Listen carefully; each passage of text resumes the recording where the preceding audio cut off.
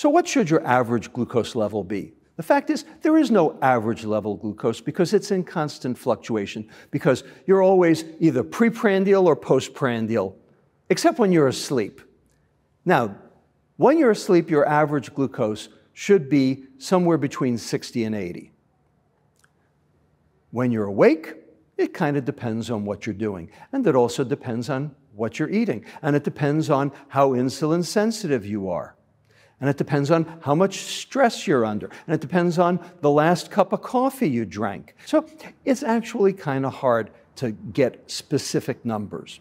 Having said that, the American Diabetes Association says that if your fasting blood glucose is over 90, it's an issue. If it's over 100, you have prediabetes. And if it's over 125, you actually have type 2 diabetes.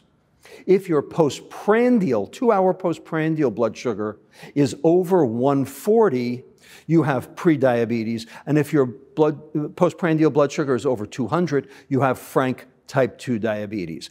What I care about is you getting your blood glucose as low as possible because you got your insulin as low as possible. If you become insulin sensitive, your glucose will take care of itself.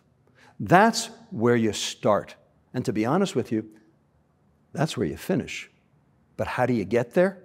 CGM is the best way today to get there.